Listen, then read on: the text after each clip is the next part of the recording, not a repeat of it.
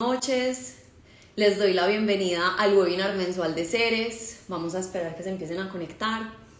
Estoy muy feliz de tenerlos y tenerlas hoy acá porque el tema que vamos a abordar es un tema que a mí personalmente me ha movido mucho en los últimos meses y sobre todo porque tengo un invitado que admiro con el corazón y un hombre pues del que he aprendido mucho.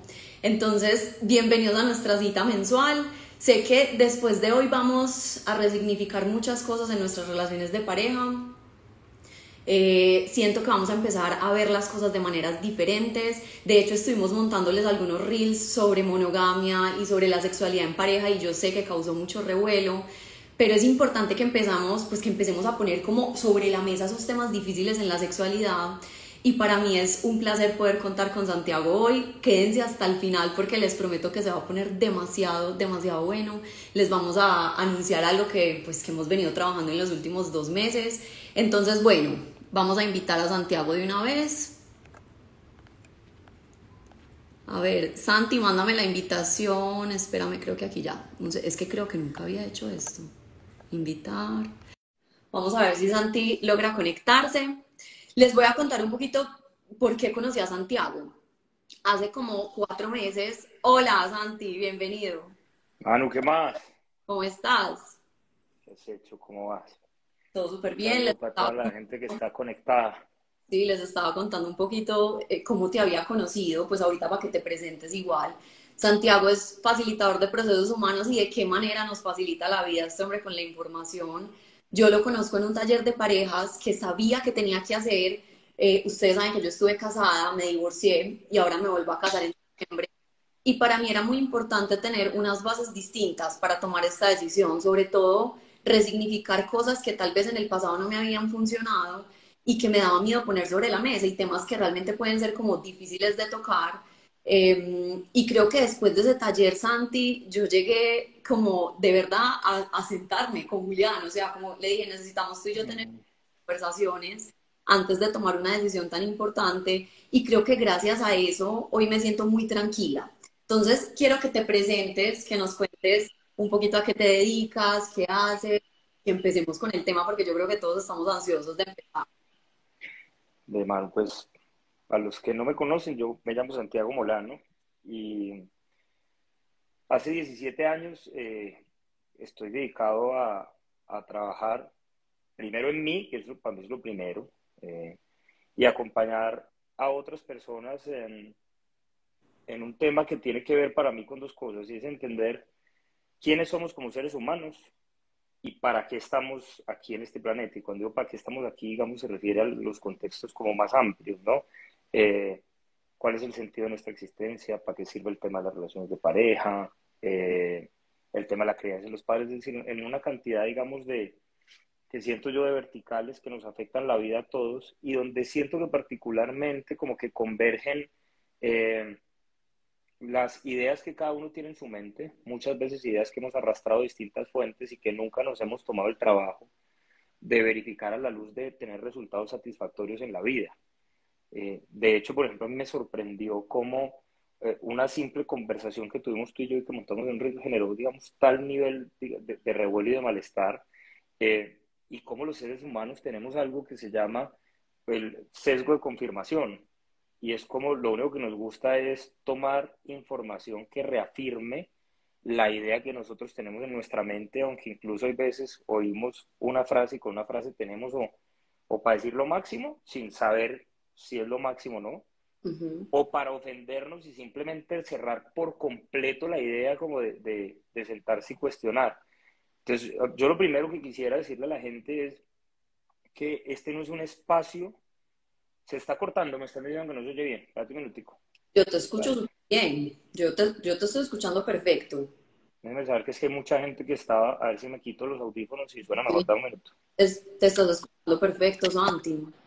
Yo creo que pronto era, o sea, si, si ven que algo les está fallando es porque pronto puede ser el audio de cada uno, pero realmente se está escuchando perfecto. ¿Ahí ya? Eh, ¿Mejor? ¿Está igual? Sí, igual. Ah, bueno, súper. Entonces decía que lo primero es que el objetivo de esto no es imponer ningún tipo de verdad, ¿está claro? Que esto no es una invitación a seguir ningún modelo en particular de relación. Es decir, desde mi forma de ver la vida, simple y sencillamente lo único que uno debe encontrar es una relación que sea satisfactoria para uno y para su pareja, ¿no? Y como decías tú, la invitación a que sí empecemos a cuestionarnos un poquito si eso que nosotros tenemos en nuestra mente y que hemos llamado la verdad, porque sí, realmente y efectivamente es una verdad o simplemente es una limitación mental que hemos construido y que, y que le hemos reafirmado en un modelo de, de ignorancia sistémica que lo que nos gusta es pensar o validar que cualquier persona que ve la vida distinta a nosotros, pues o está equivocado, o es una mala persona, o es una persona sin valores. O sea, yo me quedo, por ejemplo, como aterrado como eh, sobre el hecho de decir que la monogamia no es natural, es decir, que no sea por naturaleza, pues me convirtió en una cantidad de cosas para un poco de gente, ¿no? Eh, que es una apología a la promiscuidad, que con razón, que una cantidad de vainas, es muy chistoso porque pues en particular yo 13 años casado y muy felizmente casado y tengo una relación de pareja muy bacana, eh, que además tiene que ser bacana solo para mí y para y mi pareja, para nadie más, que eso es lo otro, una cosa que nosotros no hemos entendido, que tenemos esta idea un poco en nuestra mente que todo el mundo debería ajustarse a mi forma de ver la vida y que esa es la correcta y el que no, o es malo, o hay que atacarlo, o hay que rechazarlo. Entonces la idea es eso, lo primero que la gente entienda que, que no estamos aquí promoviendo nada, que no estamos invitando a nada distinto que a generar un proceso de reflexión y a entender unas cosas que son importantes simplemente mirar, ¿no? Como una invitación. Eso es todo. Eso me parece importante, digamos, para aclararlo de entrada. ¿Listo?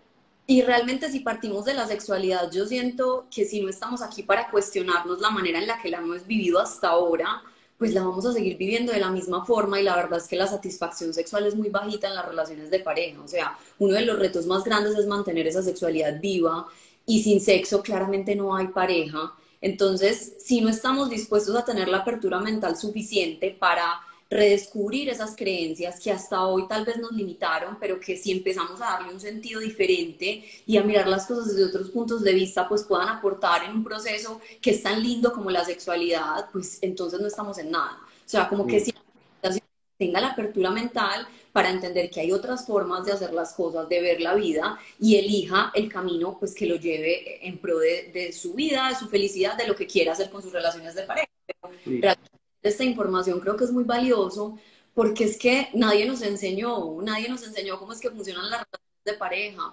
Mira, hasta ese taller para mí el amor era algo completamente diferente.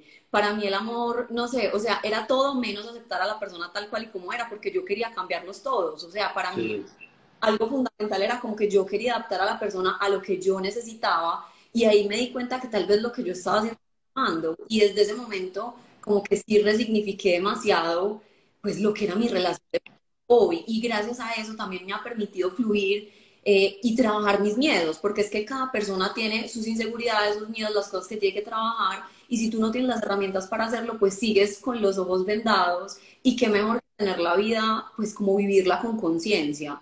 Entonces, la invitación es a que tengan apertura mental, pues a que se permitan escuchar al final cada quien es quien decide cómo quiere aplicar el, lo aprendido, pues.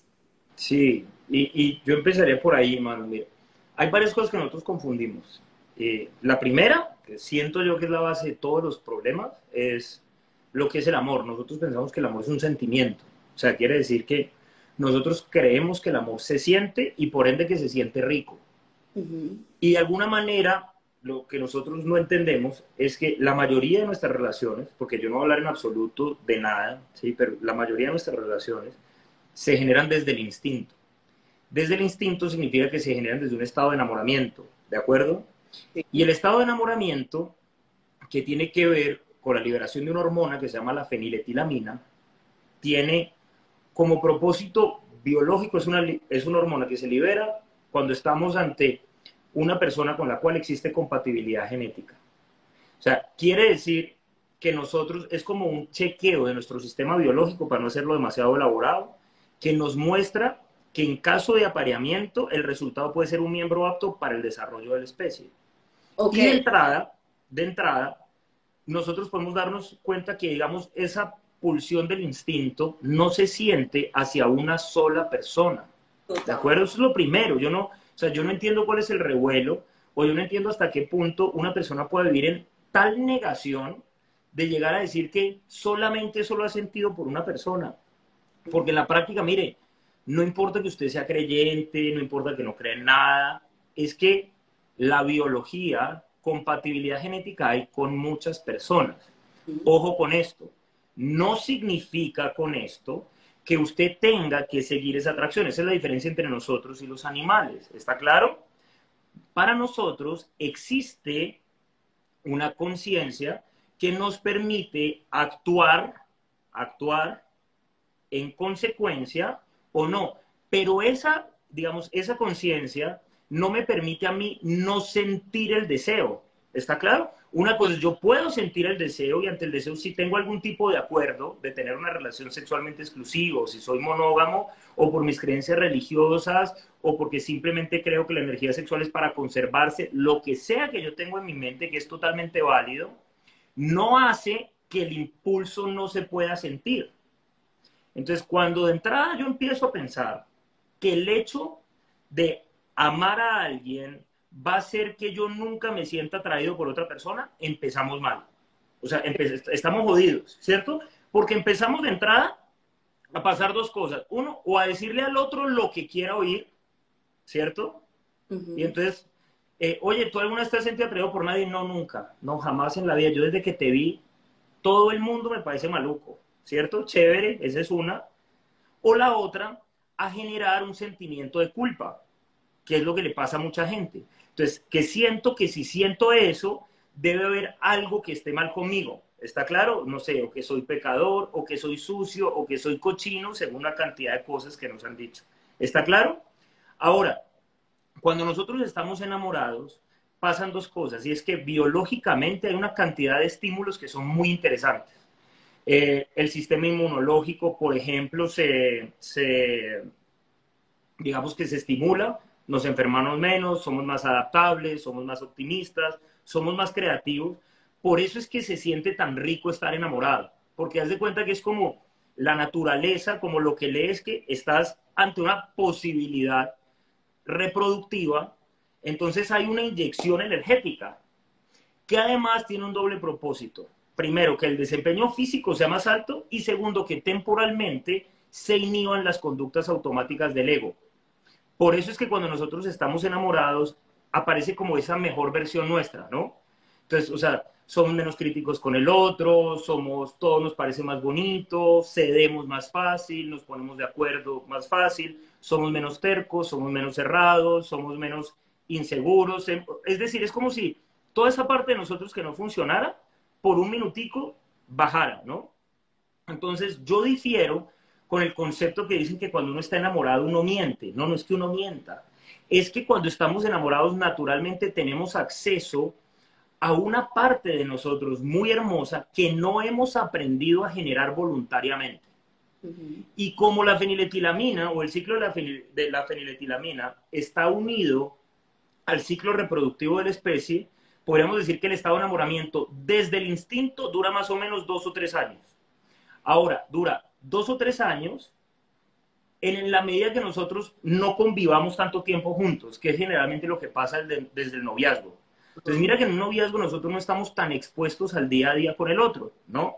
Y generalmente, estoy diciendo, no siempre, pero generalmente cuando tú estás de novia, entonces hay una cantidad de cosas que no tienes que lidiar con el otro, ¿no? No sé, nos vemos el fin de semana, eh, nos vemos en tu casa o en la mía, o vamos a algún lugar, o estamos de paseo, entonces, hace dos cosas. Primero, que los niveles de deseo se mantengan muy altos porque somos escasos.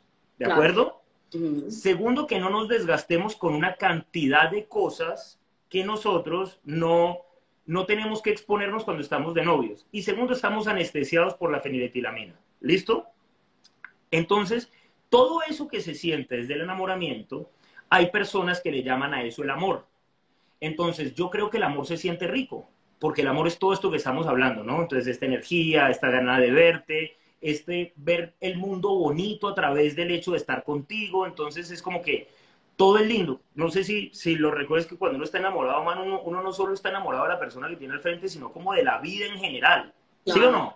No, y, y, háblame del sexo cuando uno está enamorado, Santi. O claro, sea, se da de manera espontánea, o sea, algo más espontáneo que el sexo cuando uno está enamorado. Entonces, o sea, es, fácil, es rico, todo funciona, siempre queremos, ¿de acuerdo? Y chévere, pero entonces sumado a eso, resulta que detrás de eso, todos los seres humanos tenemos una idea de cómo debería ser el mundo, ¿de acuerdo? Esa idea que tenemos de cómo debería ser el mundo es el resultado de cómo nosotros interpretamos la vida cuando éramos niños. ¿vale? Nuestra conducta y nuestra forma de ser no es más que el mecanismo adaptativo que desarrollamos para tratar de que el mundo se acomodara a nuestras expectativas, ¿vale? Y el punto es que cuando estamos enamorados, eso temporalmente es como si, como si se pusiera en hold, ¿listo? Entonces resulta que tú eres una persona, no sé, muy temperamental, pero cuando estás enamorado eres menos resulta que eh, tú eres una persona súper eh, controladora, pero cuando estás enamorado lo eres menos.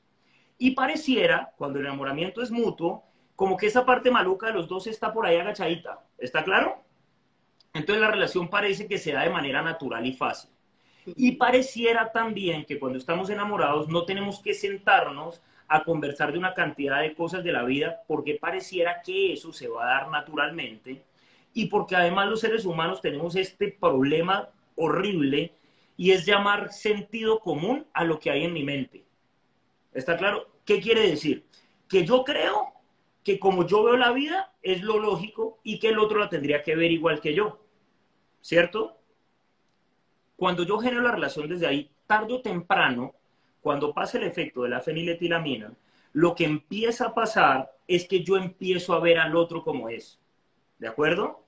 Y cuando empiezo a ver el otro como es, me doy cuenta de una cosa muy bonita, y es que yo no tengo una relación con el otro, yo tengo una relación con mis expectativas, porque yo estoy en la relación en la medida que mis expectativas estén satisfechas. Y lo que empieza a pasar es que yo empiezo a luchar por tratar de imponer esa forma mía de ver la vida, a la cual yo llamo verdadera o buena, ¿sí? O correcta, o como coño quieras que la quieras llamar. ¿Listo? Y el otro empieza a hacer exactamente lo mismo. Quiere decir que lo que empezamos a hacer es a luchar por lo que cada uno quiere. ¿De acuerdo? Entonces, empiezo a exigir, empiezo a demandar, empiezo a controlar, empiezo a querer que el otro encaje con la idea que yo tengo en mi cabeza. Y empiezo a querer sentirme amado cómo me sentía cuando estaba enamorado. Lo jodido es que yo solo me siento rico en la medida que las cosas sean como yo quiero o que el otro se porte bien. Bien significa como yo quiero. ¿Está claro? Y no nos tomamos el tiempo de sentarnos a pensar, oye, ¿y tú cómo ves la vida? ¿Y tú cómo te has imaginado la vida? Eh, ¿Qué piensas tú de la exclusividad sexual? Es decir, ¿es interesante para ti? ¿Te llama la atención? ¿No te llama la atención? Eh, ¿Cómo vamos a manejar el dinero?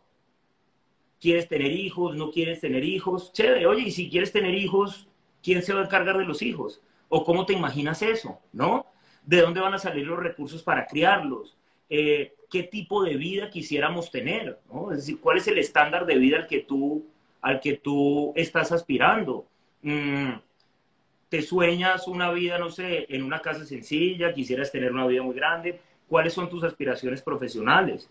Una cantidad de cosas que nosotros pensamos que no, eso ahí se va, se va dando.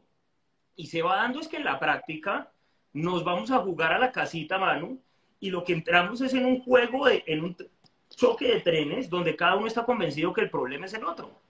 Y a eso, a eso es a lo que yo le llamo amor. ¿Qué quiere decir? Que tú me ames significa a que tú renuncies a tu forma de ver tu vida y te conviertas en lo que yo espero. Es decir, demuéstrame tu amor porque como yo le tengo miedo a ser abandonado, entonces significa que tú tienes que vivir y tener ojos solo para mí. Significa que tú tienes que ver la vida como yo quiero. Significa que me voy a ofender si en algún momento, no sé, estamos en la playa y pasa alguien y tú volteas a mirar, porque resulta que eso es una falta de respeto. O sea, según yo, nunca conversamos si eso es una falta de respeto, pero según yo eso es una falta de respeto. Significa que eso te convierte a ti en una mala persona porque yo digo, ¿de acuerdo? Nos metemos con la idea pendeja, porque como si fuéramos mensos del todo, de pensar que el deseo sexual se va a mantener alto porque sí toda la vida, ¿sí? Por naturaleza. Y yo digo, o sea, mire, a mí me da mucha risa cuando yo leía, porque yo decía, ¿quién sabe esta gente que está escribiendo cuánto tiempo lleva con su pareja? ¿No? Entonces, si tú quieres tener todo eso, todas esas cosas se quieren construir. Y en la práctica nos damos cuenta que somos vagos. Porque yo llamo construir al proceso de imponerle al otro mi, mi, forma de ver la vida. Y cuando yo hablo de construir y de trabajar, realmente lo que tenemos que trabajar es contra nuestra ignorancia, contra nuestras limitaciones y contra nuestros quieros. Porque ahí nos damos cuenta que el amor es una cosa muy distinta. El amor es la capacidad de aceptar y respetar al otro tal cual y como es. ¿Está claro? y eso es muy interesante porque entonces lo primero que yo tendría que preguntarme es si yo con la pareja que estoy, si yo con la pareja que estoy, estaría, estaría contestándome esta pregunta, sabiendo que esa persona no va a cambiar nunca. Y ahí te digo, mano, que la mayoría de personas su respuesta categóricamente sería no. Y por eso te digo que la mayoría no tiene una relación con su pareja. Tienen una relación con la expectativa de que algún día su pareja se convierta en lo que ellos quieren. Y en la práctica, cada vez que no lo hacen, lo critico, lo juzgo, le peleo, me desmotivo, le exijo, lo jodo la vida. ¿Sí o no? Hombres y mujeres, porque aquí yo no estoy hablando desde un rol de hombre ni desde un rol de mujer, porque es exactamente igual. ¿Sí? es exactamente igual una pareja homosexual, es igual en, una relación de parejas entre dos mujeres, entre dos hombres o en una pareja heterosexual. ¿Está claro? Sí. Entonces lo jodido es que si yo no me hago cargo de mis expectativas, entonces mis expectativas son las que generan mis sentimientos, que es lo otro que más jode una relación de pareja, mis sentimientos, porque yo creo que el otro se tiene que hacer cargo de ellos. Y realmente lo que a nosotros nos interesa es tener una pareja que nos haga sentir rico. Entonces es como un juguete. Y en la medida que tú me hagas sentir rico, yo estoy ahí, ¿cierto? Y tienes mi respeto, y tienes mi afecto, y tienes mi ternura, y tienes mi complicidad. Pero cada vez que tú no me haces sentir rico, porque me haces sentir otra cosa, entonces yo saco lo peor de mí. Y eso, si te pones a ver, es absolutamente egoísta. Es decir, nosotros le llamamos amor a cosas que se parecen mucho más a la dependencia, mucho más al miedo, mucho más a la rigidez mental, mucho más a la terquedad que a lo que es el amor. Ahora, en ese orden de ideas, mano, hay una cosa que es muy importante y es que el amor, el amor no es suficiente para construir una relación de pareja. Porque si el amor significa que yo te acepto y te respeto tal cual y como eres, lo primero es que se mide a través de la renuncia absoluta de querer cambiar al otro.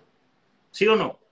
Pero resulta que si yo me niego a quererte cambiar, yo tengo que ver si siendo tú como eres y siendo yo como soy, si somos compatibles y si estamos parejos. ¿Sí o no? Porque si no estamos parejos, si no estamos parejos, entonces no podemos tener una relación de pareja armónica. ¿Cómo vamos a tener una relación de pareja armónica tú y yo si yo no creo en la exclusividad sexual y si para ti lo más importante en la vida es que seamos monógamos? ¿Sí o no? ¿Cómo? ¿Cómo hacemos eso? ¿Cómo vamos a hacer, cómo vamos a tener una relación de pareja armónica si lo más importante para ti en la vida es ser mamá y para mí lo más importante es no tener hijos porque yo quiero ser una persona libre siempre? Entonces, cuando hablamos de qué significa ser pareja, significa estar parejos a través de algo que se llama la afinidad mental. Porque si bien el amor es universal, la convivencia no lo es. Y entre más distintos somos, más difícil va a ser la relación. Y entre menos trabajados, es decir, entre más tercos, más arrogantes, más sectarios, más cerrados, más dogmáticos, pues mucho más difícil hacer un acuerdo conmigo, porque es que resulta que conmigo ni siquiera se puede hablar, porque a mí me dicen tres cosas y yo ya me ofendo y yo ya estoy citando 19 versículos de la Biblia. ¿Sí? Entonces, así como putas vamos tú y yo a conversar de cualquier cosa en la que nos tengamos que poner de acuerdo. ¿Sí? Eso en términos generales. Pues y aún más difícil cuando hablamos de la sexualidad, pues porque siento que si ya es difícil comunicarnos en temas de afinidad en general de la pareja, ahora hablemos de la sexualidad, Santi, porque creo que tan, pues, tanto el video de la monogamia como de sin sexo hay o no, o no hay pareja, los dos causaron pues bastantes opiniones. Yo sin sexo no hay pareja, pero siento que además es un punto en el que no estamos dispuestos a trabajar. Sea, la relación de pareja es un trabajo como cualquier otro, pero cuando hablamos de pareja también hablamos de sexualidad.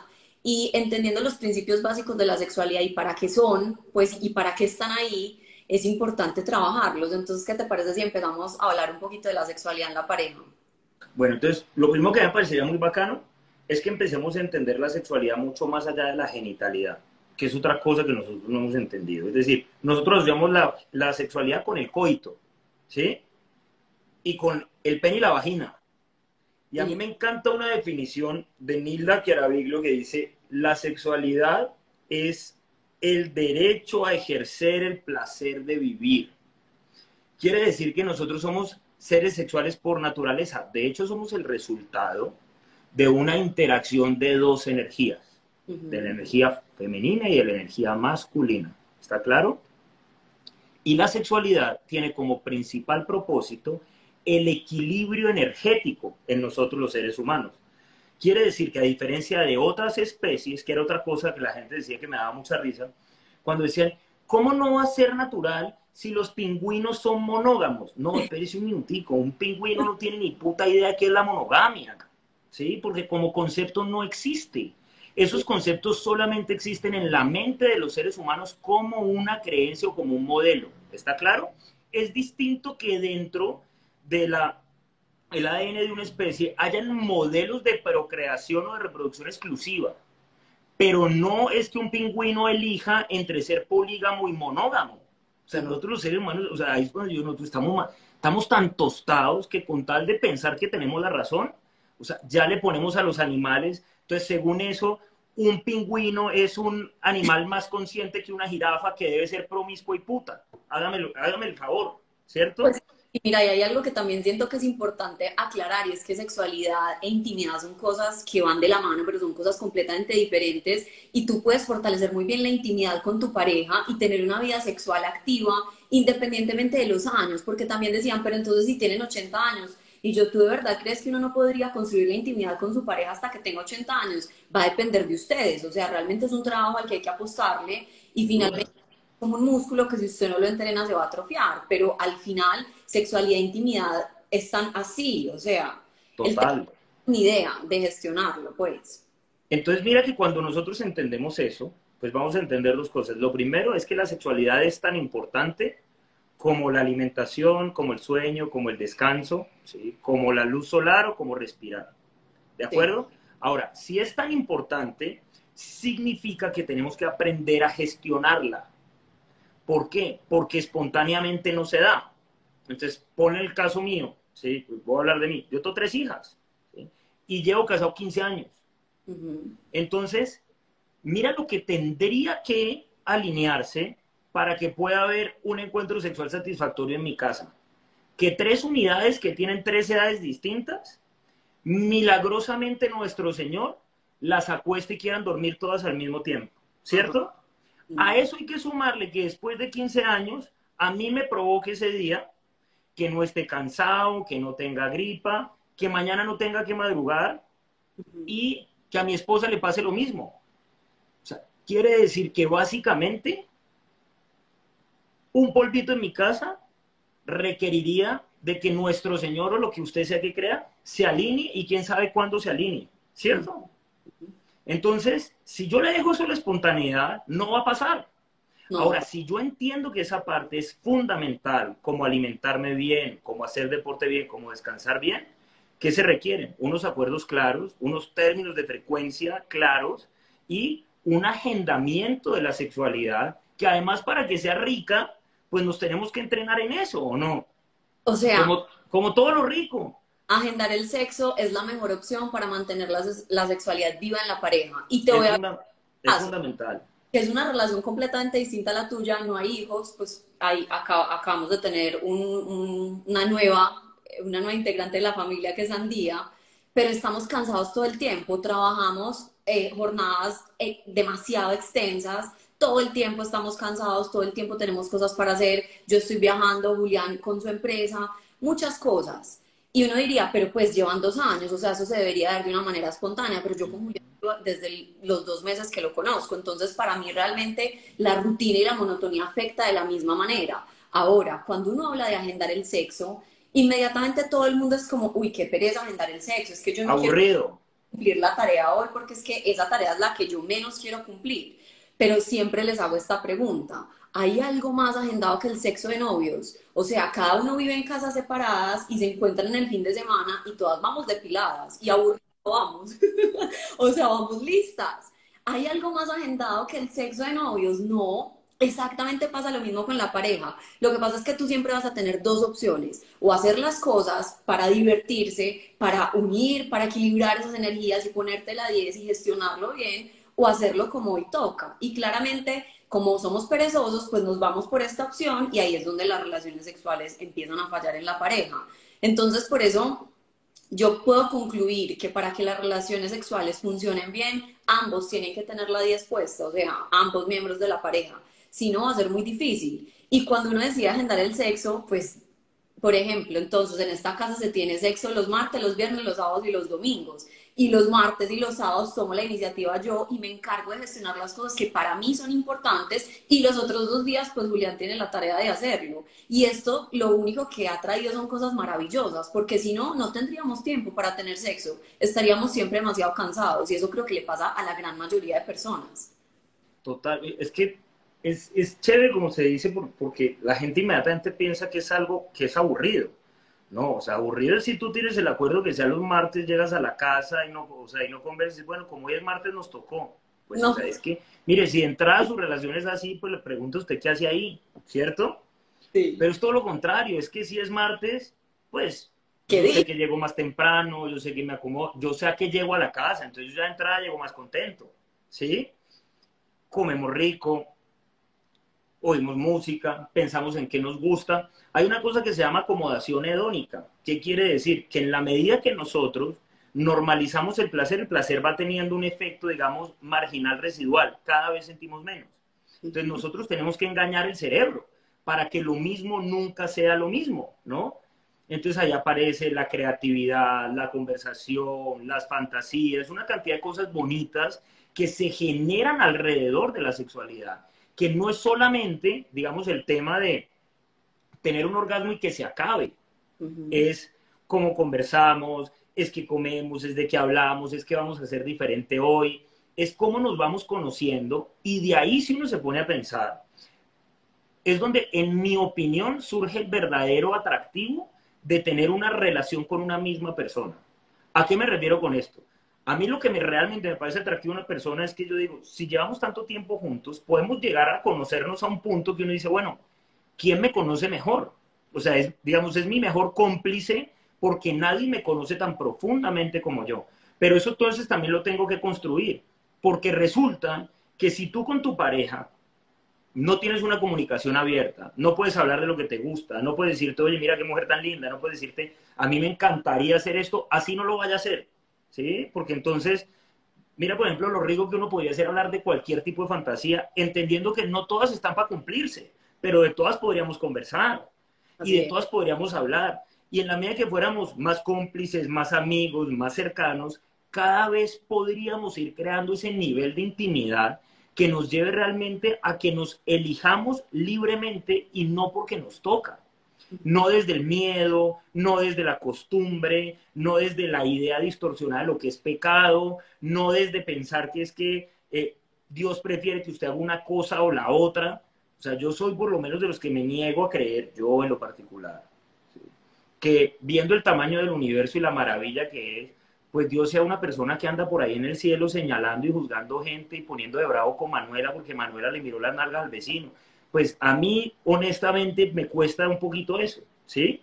Ahora, yo creo que si Manuela tiene una relación bacana con Julián y pasa el vecino al cual le gustan las nalgas y Manuela le puede mostrar las nalgas del vecino y Julián se ríe de eso y se vuelve cómplice, ¿sí o no? Y, se va a mangar y se vuelve un tema de conversación, es mucho más probable, mucho más probable que para Manuela sea menos atractivo irse de la casa que quedarse ahí donde que encuentra su amigo, su cómplice, su amante, el que la celebra, el que la secunda y el que va generando todo esto. Yo por eso digo, mano, que es mucho más exigente tener una relación de pareja sexualmente exclusiva.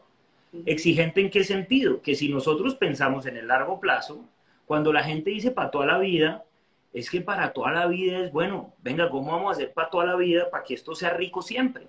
Para que esto sea nuevo siempre, para que siempre encontremos motivos que nos unan para que nosotros crezcamos. Yo muchas veces le digo a la gente, oiga, ¿usted cuánto invierte en eso? Entonces, ¿cierto? Porque usted eso sí que espera. No mire a nadie, no nada. Chévere. Haces ejercicio, hombres y mujeres, porque esto no es un comportamiento machista, es exactamente lo mismo, ¿no? Te sientes cómodo con tu cuerpo, cuidas tu salud, tienes una adecuada rutina de higiene, te preocupas por leer, por aprender, por saber, por hacerte dueño de tu placer, para que el otro, o sea, yo no puedo llegar ahí a echarle encima a mi esposa, a mi placer, mi estoy estresado, a ver qué me vas a hacer hoy. ¿Cómo así que qué me vas a hacer hoy? De mí me encargo yo, de ti te encargas tú y en la medida que aprendemos a disfrutarnos juntos, pues tiene sentido que nos reunamos para eso. Pero la pregunta es, ¿usted se ha entrenado en eso? ¿Usted ha estudiado? ¿Usted alguna vez se ha procurado, si usted es una persona heterosexual, entender cómo funciona el cuerpo femenino? O usted parte de la base que es que como usted ha visto tanto porno, usted debe saber mucho. ¿Sí? Entonces resulta que nosotros no tenemos ni idea, no sabemos cuáles son las zonas erógenas, no sabemos cómo se tocan. Usted parte de la base que porque usted ve eso ahí y se pone a hacer unas cosas que realmente son lamentables y aparte de eso, en serio usted espera que lo elijan a usted. Entonces yo soy de los que creo que la exclusividad, si es que a uno le interesa, se gana y se gana con servicio al cliente. Y es de lado y lado. Para mí, en lo particular, me parece horrible, horrible la idea de pensar que mi pareja se acuesta al lado mío porque le toca. ¿Sí? No, yo, yo tengo clarísimo que puedo hacer lo que quiera y que en la medida que no tienen ninguna obligación conmigo, mi trabajo es hacer todo lo posible por ser su mejor opción a todo nivel. a todo nivel. Entonces, en la medida que yo entendí eso, dejé de concentrarme en ella, dejé de exigirle cosas a ella y empecé a hacerme cargo yo del el tipo de pareja que quisiera ser, porque algún día me hice la pregunta si yo quisiera tener una relación con alguien como yo y mi respuesta fundamental fue ni por el putas. Y en ese momento dije, o yo hago algo, o yo hago algo, o esto se va a joder. O esto se va a joder. Entonces, eh, creo que esa es sobre todo la invitación eh, a que entendamos que nos tenemos que hacer cargo de nosotros mismos. Y yo creo 100%, mano, que una relación de pareja solo es posible entre dos seres humanos que han aprendido a ser felices por sí mismos. Es decir, dos seres humanos que renunciaron a la idea de que el otro tiene que hacerse cargo de mi ignorancia, de mis exigencias, de mis expectativas, de mi idea de que yo soy una gran persona, de... Mira, a mí me parece increíble, por ejemplo, cómo la gente apela a los valores para descalificar a otros hablando de moral y de ética, y lo primero que no respetan es una forma distinta de ver la vida. ¿cuál es tu moral y cuál es tu ética si ni siquiera puedes convivir pacíficamente con que otra persona no vea la vida igual que tú? Entonces, en ese orden de ideas, yo creo que cada ser humano tiene la relación de pareja que se merece. Que ese es otro cuento que nos han metido, es que tú te mereces. No, tú no te mereces nada distinto a lo que has sembrado. Tú no te mereces nada distinto al reflejo como has aprendido a tratarte a ti.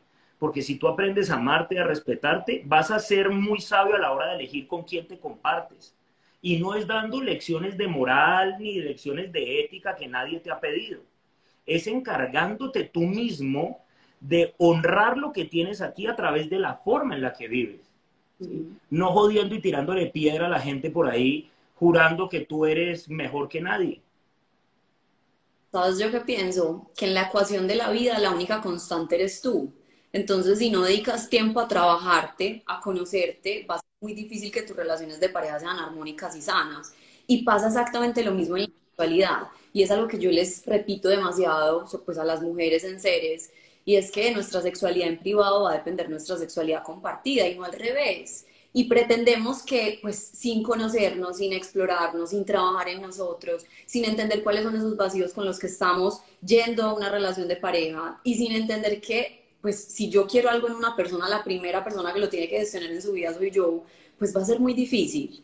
Entonces creo que es que esto es un tema muy largo y es un tema que pues por los comentarios veo que han estado bien, bien interesantes. Yo, Santi, ¿qué hacemos? ¿Lanzamos la bomba o qué? ¿Vos qué decís?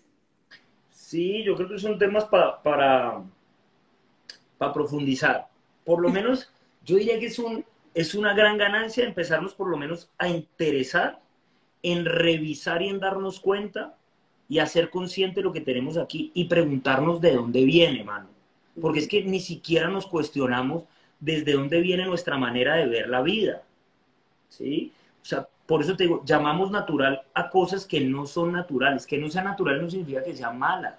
Yo en ningún momento he dicho que la monogamia sea mala. Nada, ¿sí? No es ni mejor ni peor que nada. Lo que estoy diciendo es que no se da naturalmente, que tendría que ser una elección, y que lo primero que tendría que ser no es una imposición. ¿Qué quiere decir? Que si es importante para mí, lo primero que yo debería asegurarme es que para mi pareja sea igual de importante. Pero, pero, si no lo es, eso no significa, pues lo primero que significa es que no estamos parejos y que no somos una pareja. Pero no significa que yo sea una mejor persona que tú. Significa que dado que no vemos la vida igual, pues cuál es el sentido que hagamos una relación de pareja donde no estamos parejos. Pero en nombre del amor, quitémonos la idea que yo tengo derecho a imponer, a exigir, a controlar y a gobernar al otro. Porque yo siempre digo, si lo que nosotros hacemos es construir cárceles, entonces, ¿por qué nos sorprende que el otro se quiera salir de ahí? Mira, a mí me parece increíble como las personas entre más celosas, las personas entre más controladoras, las personas entre más dogmáticas, cómo esas personas casi siempre eran con parejas infieles. ¿Por qué? Porque entre más infieles la pareja, más le sirve para reafirmar la lo cerrada que tiene la cabeza. Es espectacular. Entonces ahí es cuando uno se da cuenta que cada uno que tiene lo que se merece y lo que necesita para ver la vida como quiere. Entonces, si yo quiero vivir como un culo, pues lo mejor es encontrar a alguien que me reafirme que la vida es una mierda. Total, eso es como magia. Y hay un ejercicio que les vamos, yo creo que a, poner en algo que les vamos a contar ya, porque Santiago no entendió que íbamos a lanzar una bomba. No lo ah, tírela, tírela, perdón, es que yo soy malo para esto. Tire la bomba, yo ya me voy a callar, lo prometo. La bomba y Santiago, y Santiago. No, tírela, tírela. Pero vamos, vamos a hacer un ejercicio que para mí fue como magia, porque durante muchos años yo fui una mujer y era una mujer controladora y era una mujer súper celosa. Y la verdad que siempre daba con hombres muy libres y que me enseñaban pues a los trancazos que las cosas no eran así. Entonces voy al taller de Santiago y hay una lista con las características que tú sabes que tienes que trabajar, eran como 10 y había que seleccionar 3. Bueno, pues yo selecciono las mías. Y era como magia, porque al lado contrario estaba lo que iba realmente ocasionar es tener esas actitudes en la vida. Y claramente todas eran o abandono, o infidelidad, o bueno, pues como rechazo, todo lo que yo no quería que sucediera. A partir de ese día mi vida cambió, o sea, se los puedo decir, y gracias a Santi, porque es que si no hubiera sido, también llegó en el momento en el que yo estaba dispuesta a trabajar en mí, claramente, porque esta información probablemente la había conocido hace 10 años y no la había aplicado de la manera en la que la estoy haciendo hoy. Entonces, vean pues que estamos preparando esto desde hace como tres meses y es algo que me tiene muy emocionada. Vamos a tener el segundo evento presencial de Ceres y esta vez va a ser con Santiago Molano acá en Medellín.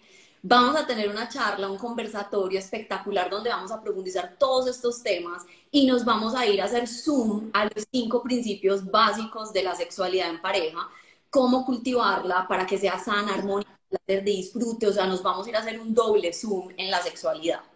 Vamos a estar el 29 de noviembre en Medellín a las 6 de la tarde.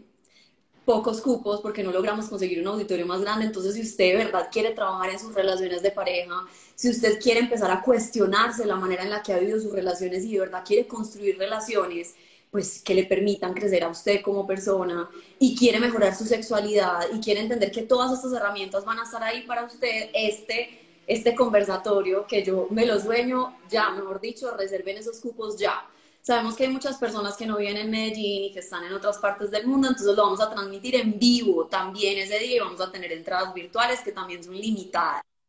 Santi, yo creo que este tema a mí me encanta porque de alguna manera nos confronta y, no, y nos ayuda como a cuestionarnos y esto pocas veces lo hacemos. Todas las personas que se inscribieron en este webinar ya tienen que tener en su correo un código de descuento para que vayan y lo aprovechen. creo que ese conversatorio va a estar muy bueno. ¿Tú qué dices? No, yo no tengo duda, además porque me parece que es muy rico cuando uno se junta de forma presencial, eh, da la posibilidad de, profundizar mucho más. Me parece que hay una cosa muy bonita también cuando uno se junta a aprender en grupo y es darse cuenta que, que los seres humanos somos más parecidos de lo que creemos. No hay nada más rico que voltear a decir, puta, esto no solo me pasa a mí, esto no solo me cuesta a mí, esto nos pasa a todos. Porque resulta que yo siento también que los seres humanos nos hemos vuelto, hemos cogido este deporte de irle tirando piedra a todo el mundo, señalando a todo el mundo, criticando a todo el mundo, juzgando a todo el mundo, en vez de tomar un ratico para voltear los ojos, para mirarnos a nosotros y ver si podemos efectivamente transformar cosas aquí que nos lleven a vivir más sabroso, que nos lleven a vivir de una manera más linda, que peleemos menos con la vida, que seamos menos un peso para esas personas que decimos que tanto amamos. Yo comparto lo que tú dices, Manu, porque además yo no me crié con esta información. Y me acuerdo que la primera vez que la vi, para mí fue muy confrontadora porque yo era lo mismo. Un tipo celoso, un tipo inseguro, un tipo controlador, un tipo que le encantaba opinar y señalar a los demás. Y un tipo que tuvo los resultados de eso, ¿no? parejas infieles, eh, rechazo de amigos, relaciones que se dañaron, nada distinto a lo que yo había sembrado en mi vida. Y en la medida que, que he venido verificando esta información, me he dado cuenta que la correspondencia es espectacular y que hay una cantidad de personas, digamos, que, que nos vamos juntando en este proceso de aprender juntos a vivir. Yo siempre digo, yo no soy gurú, yo no soy maestro de nada. A mí lo único que me, que me autoriza a poder hablar de relaciones de pareja es haber cometido todos los errores posibles. Todos. Entonces, hoy siento que no tengo ningún derecho a juzgar a nadie de nada. Yo no me siento mejor persona que nadie. Yo siento que todos estamos aprendiendo lo que nos corresponde y que la vida es muy bonita porque a cada ser humano le muestra lo que tiene que aprender a través de lo que se le dificulta. Pero nosotros tenemos que entender que la dificultad la tenemos aquí y que mientras nosotros no tengamos las el valor de, de, enfrentarnos con nosotros mismos, no contra el otro, ¿sí? No es contra mí, no es contra Manuela, no es contra su pareja, es contra nosotros mismos. Mientras nosotros no demos ese paso, no vamos a poder tener resultados diferentes en la vida. Entonces, para los que estén en Medellín, muy bacano, vamos a tener opción eh, virtual, eh, bien producida, o sea, con, con todas las de la ley. Si va, o sea, si va virtual es porque va con todas las de la ley. De manera que anímense, como les dijo Manu, eh, el sitio es pequeñito porque queríamos hacerlo este año sí o sí y, y todos los sitios estaban buqueados, entonces va a ser en el auditorio del MAM, que además es divino, es chiquito, pero es espectacular para trabajar. Eh, entonces es un sitio muy bonito. Tómelo como una cita. No tiene que tener pareja, no tiene que ir en pareja, porque básicamente es ir a trabajar con nosotros mismos. Esa es la invitación y espero que ese sea el regalo de Navidad para muchos. Para mí lo va a ser eh, yo te agradezco mucho, Manu, la confianza, eh, el amor, el abrirme la puerta a tu comunidad tan bonita, la cual respeto muchísimo. Me parece hermoso que hoy en día existan tantas mujeres hablando eh, tranquilamente de su sexualidad, explorándola, entendiéndola, tratándose con amor, haciéndose cargo de ellas mismas, entendiendo que lo que tú decías, ¿no? Que la sexualidad empieza por nosotros mismos que ni siquiera es un tema para el cual se necesita una pareja. Eh, entonces, de todo eso vamos a hablar, de todas esas diferencias, amor, pareja y sexualidad. Y le pusimos un nombre muy bonito, dígale usted, pues que usted es la que tira bomba. Usted la que tira bomba. El nombre me encantó. Juntos, pero no revueltos, lo que nadie nos dijo del amor, la pareja y la sexualidad. Están escribiendo mucho que no pueden comprarlo. Probable que la página haya colapsado, porque incluso yo había mandado ya a Telegram, a mi grupo de Telegram en Ceres, el código de descuento, entonces tengan paciencia, es probable que la página esté colapsada, lo van a encontrar en la página de Dinamo, Santi, ahorita les recuerdas cuál es el link, y ya cuando finalicemos el en vivo les vamos a dejar en las historias los dos links, si quieres hacerlo de manera virtual o si quieres hacerlo de manera presencial. Yo me muero por compartir este espacio en vivo con ustedes. Si están en Medellín, dense este regalo de Navidad, que es un regalo también que nosotros queremos hacerles a ustedes. De verdad que movimos muchas cosas para poder hacerlo este año, que empiecen el año entrante teniendo herramientas para vivir la vida más lindo, más fácil, sin tanta cosa y para disfrutarla, porque para eso está también la sexualidad, para vivir la vida llena de disfrute. Creo que en, el perfil de, en el perfil, en mi perfil, en el link tree de la bio, tienen acceso. En el perfil de el taller.dinamo también. Y como dice Cata, eh, eh, como dice Manuel, es posible que la página esté, esté eh, colapsada. Tengan paciencia, síganse metiendo ahí. Yo le quiero dar muchas gracias a las personas que se dieron la posibilidad de acompañarnos hoy, de oírnos. Y especialmente, si usted fue una de las personas que sacó la mano y que tiró piedra y que puteó y se quedó aquí y se dio la posibilidad de escuchar, a usted por encima de todo es el que más le agradezco porque sé que probablemente más esfuerzo y más trabajo se requiere. Y si algo respeto yo es una persona que se, que se da la posibilidad simplemente de oír una información diferente. Como le digo, no estamos hablando desde ninguna verdad, es una información desde el amor y que tiene un solo propósito, y es que construyamos, construyamos entre todos un mundo más rico para vivir. ¿sí? Un mundo donde podamos vivir sin tratarnos tan mal entre todos, donde entendamos que todos somos distintos, pero que hay lugar para todos. O sea que allá cabe todo el mundo, monógamos, polígamos, parejas de cualquier orientación, si creen Dios, si no creen Dios, si creen lo, para todo el mundo, eh, allá hay un espacio y le aseguro que para todo el mundo habrá respeto y aceptación absoluta de su manera de ver la vida. Entonces sería muy rico compartir con todos. Estamos listos, Santi. Gracias por este espacio. Chao, Manu. Un abrazo, Julián. Espectacular. Chao.